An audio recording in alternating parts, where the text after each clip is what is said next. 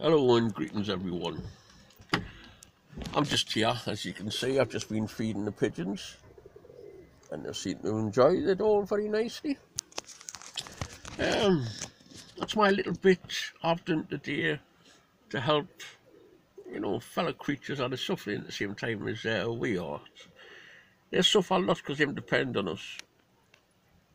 They depend on people going around giving them scraps and feeding them bread and taking things out of dustbins at the back of shops. They depend on that. And when people are not doing that, I've noticed the pigeons are getting a lot thinner. Um, but I do my bit. I come down here every day, same time, and you know, I feed the pigeons. It doesn't cost nothing. Um, find it difficult to get used to this new cleaner me at the minute, but you know, it, it, it will take time. Um, and as for the eye, the eye's healing up lovely. Um, this part here I seem have got a little bit of, of infection that was swollen up. Um, but you know, it, that's getting better as well. Um, I've I suffer from sleep apnea, one of my problems I've got, and um, I've got to wear a face mask on a on a night time and the face mask goes exactly over this and this is irritating it. Now the cut itself is gone.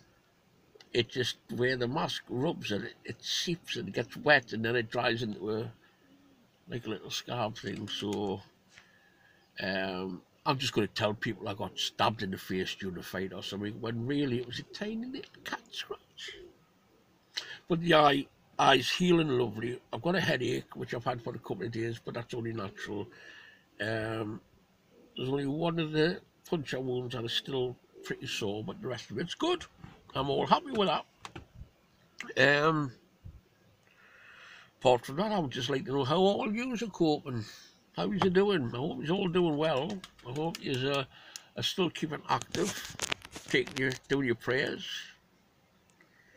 Uh, summer solstice will be coming up shortly, and like everyone, I'll be making plans for that, doing it solo, going out somewhere and doing it. It's a shame that when, you know, especially the Northeast where we're starting to connect more and get together more, um, things seem to happen like this. I put a stop to it. One of the people I'm connected with in one of the groups, because we've got a group concentrating on people in the northeast of England. One of our members here teaches fire walking. Brilliant. First thing we're going to do when all this is over is arrange, um, all get together, go camping, do some fire walking. It's not as easy as what people think. Um, but you know, it's, it's going to help bring people together after this because most of them were in a bad way over um, being isolated. I know I am. Human contact is just something I'm not really even sure I can remember what it is. But this won't be going on for long. Um, it is seeming to get a bit more serious round here. My ex-partner told us the other week that um, think it was 58 people died in the hospital she works in.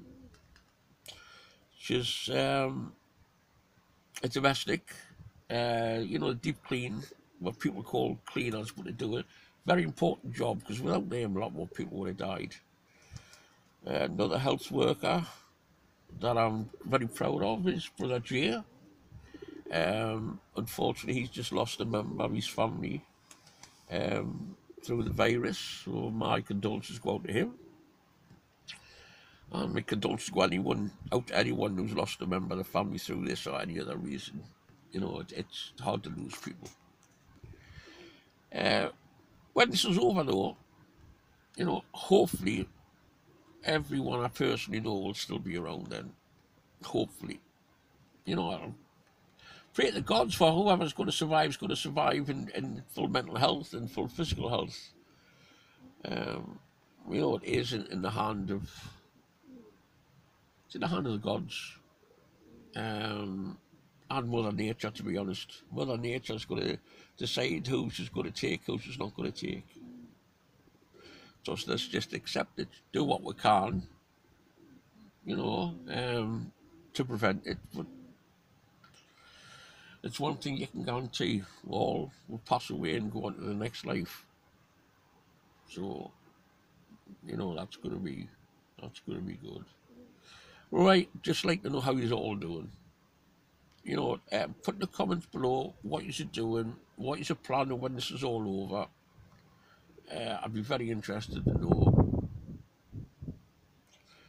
So I would like to see some more photos of you. If any of you have um, built any, you know, any ornaments or built an altar or done what I've done, had a haircut, you know, just post and let people know we're a community. Let people know, let people see them all around, we all care, we all listen to each other. And if you haven't talked to one of your brothers or sisters in a long time, I'm on about your blood brothers and sisters, give them a call. Let them know that you care. Let them know that you're listening. And for your spiritual and folk brothers and sisters, keep in touch with them as well. We all need it. All right, I'd like to see it. Cheers. Catch us all later. Hail of gods. Toodles.